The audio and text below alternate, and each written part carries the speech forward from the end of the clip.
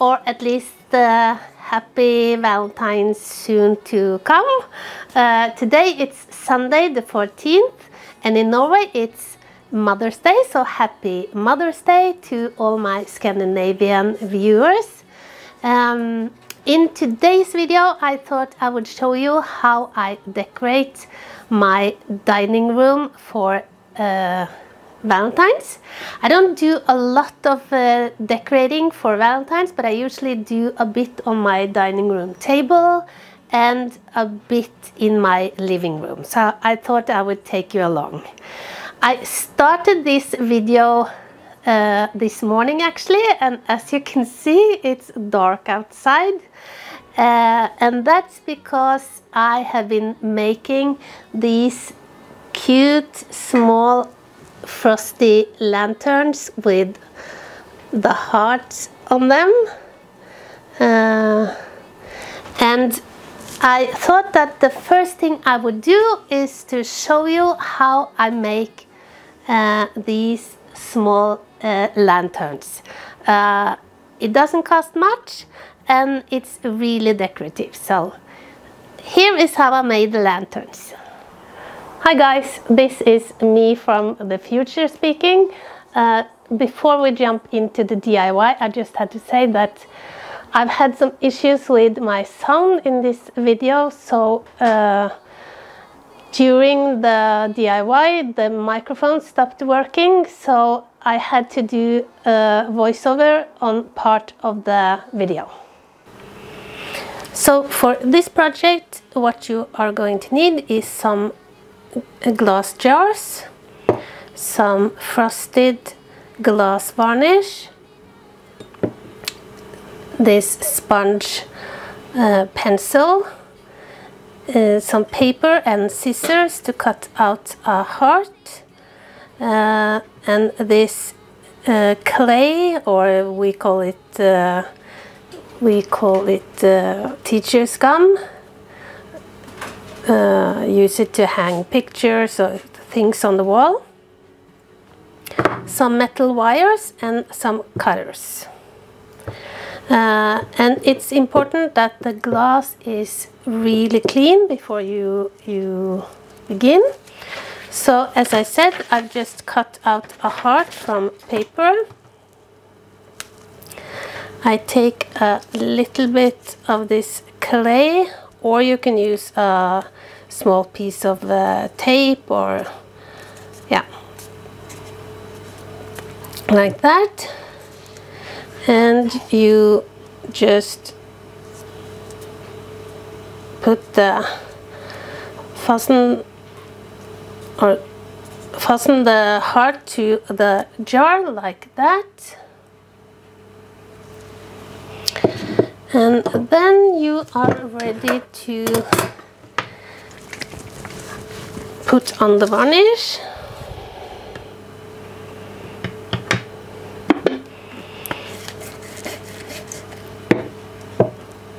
And I start uh, applying the varnish around the heart so I can remove that afterwards so just dabbing on this frosted and you don't have to use frosted uh, varnish. You can use uh, glass paint or yeah. I use this glass varnish that gives a frosted look and I'm going to cook it in the oven on 160 degrees Celsius for 30 minutes. There's the heart and now being careful not to to touch here I apply the varnish to the rest of the jar. And when I'm done it's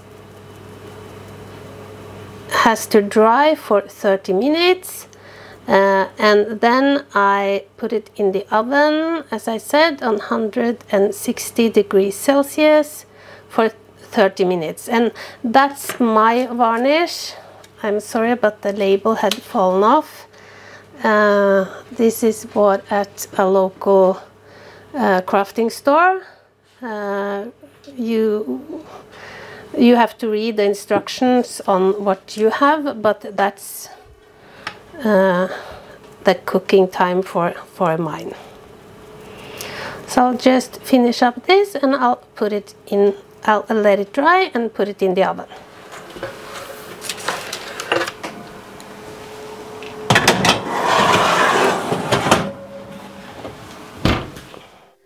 and here is where my mic stopped working. Uh, I'm making a handle for the lantern. I uh, started by cutting a piece of uh, metal wire and on each end I made a small loop just by using my pliers and twisting. Then I took another piece, a shorter piece of metal wire uh, and cut it to size to fit around the top of the lantern. I'm sure there's many way of, ways of doing this, but this is how I did it.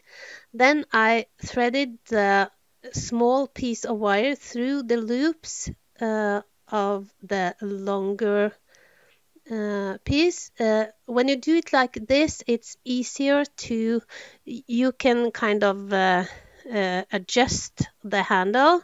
Um, I tried another way by making small loops on the side of the shorter metal uh, uh, thread, but uh, I didn't. I couldn't make it work.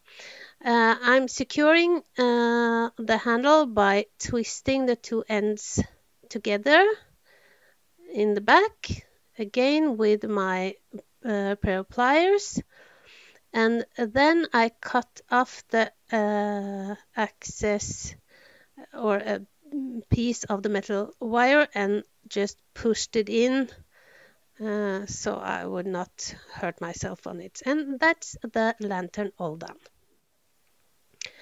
I made uh, 16 lanterns. I'm going to use 12 in uh, my tablescape.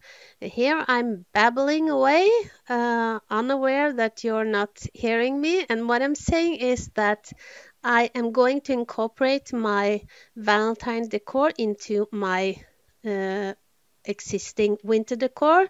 I've taken down the lights that I had previous, uh, but kept the snowflakes um, and are uh, going to uh, hang the lanterns. I used a bit, a little bit of decor sand in the bottom of the lantern to protect them from the heat and I opted to go with red tea lights uh, just for a pinch of color.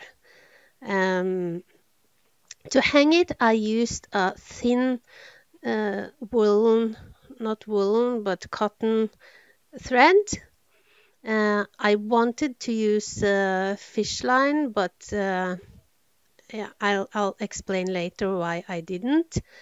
Uh, and I hung the lanterns in different from different heights, uh, just like I've done with the snowflakes.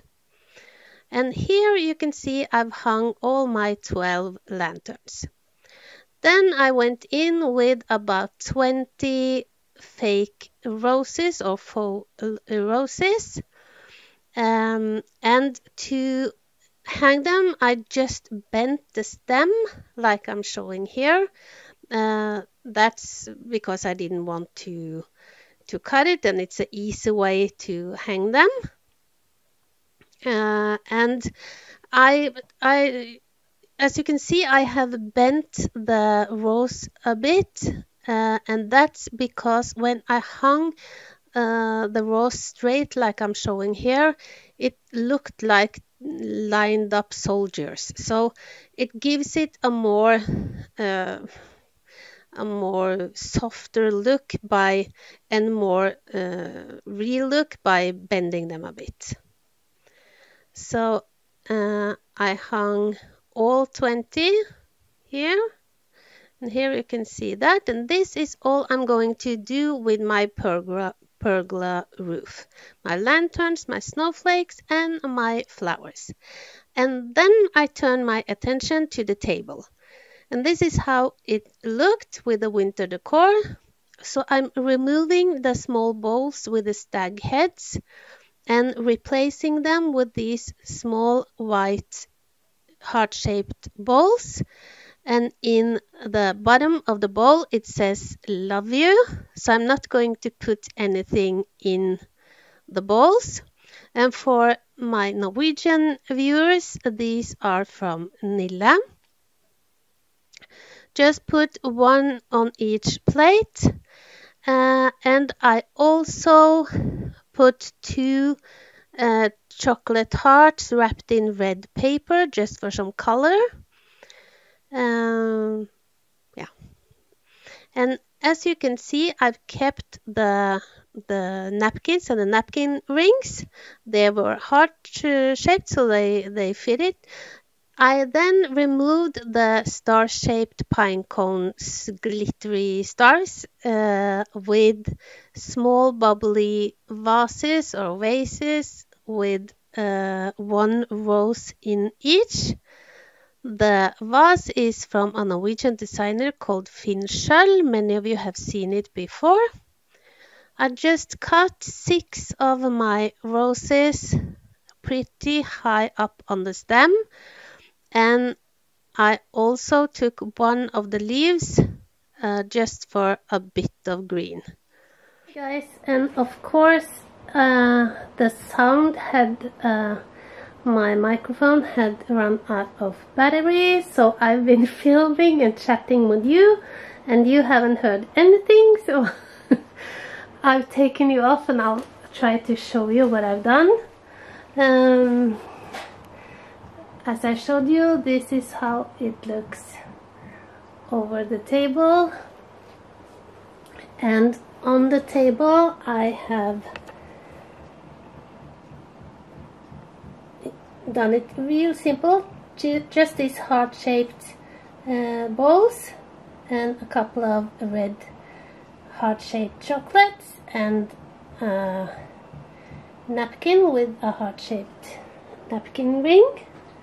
And I've uh, switched out the pinecone glittery stars with the small Finn Schjøll bubbly uh, vases or vases um, and I will I will show you with the lantern slit and in daylight but this is how I made it today um, this is how far I made it today. I'll have to continue tomorrow. I just had to show you guys this is how it looks with the small lanterns all lit oh, I wish you could be here and see how it looks in real life because this is not doing it justice uh,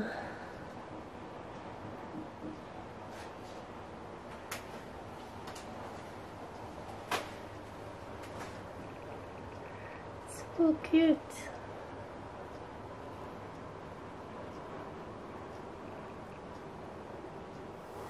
Okay guys, that was my Valentine's decor.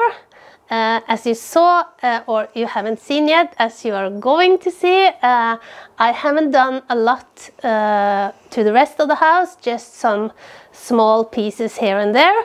Uh, you will see some wooden hearts with uh, pictures on.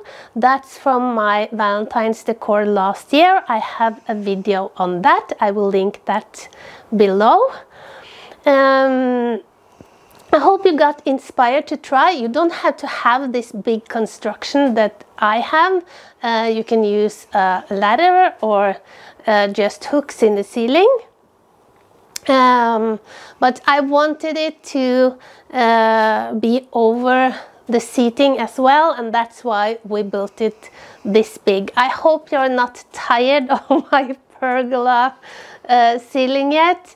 Um, I'm I think I'm going to use it for my Easter decor as well and then I'll take it down. So um, I'm really pleased with the decor. Uh, as you saw I uh, put some um, white uh, decor sand. Urian Kommer du ikke opp? Jeg? Jo.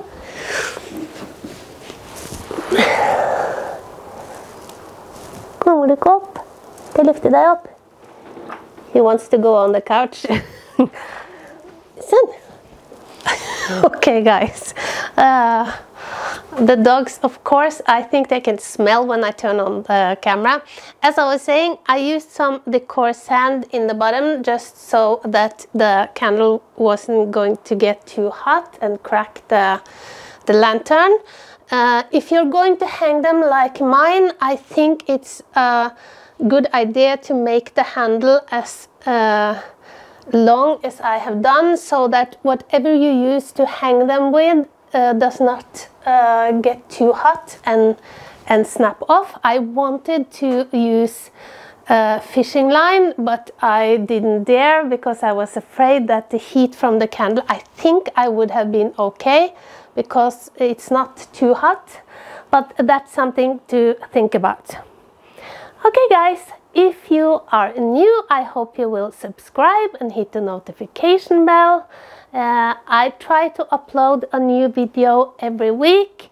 I've had a kind of a bad YouTube start on 2020, uh, but I'm sure I'm going to do better. It's been a lot with uh, old animals and old people and a lot to do.